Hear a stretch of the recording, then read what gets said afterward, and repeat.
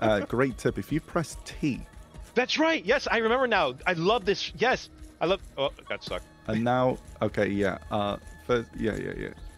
Yeah, no, I go. actually yes, I I thought that was a fab. But yes, seriously, fabulous feature. Just the auto traveling, like Hmm. love that. Thank you for reminding me about that. Look, a lot No happened problem. in the past week.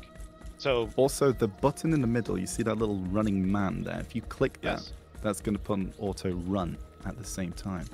So if you press control and then um, yes, that allows you to have access to the mouse. yes. Which also, by the way. I love I love that Boom. feature too. That you know you can actually uh, engage with the mouse. Yeah, Yeah. yeah, yeah, yeah.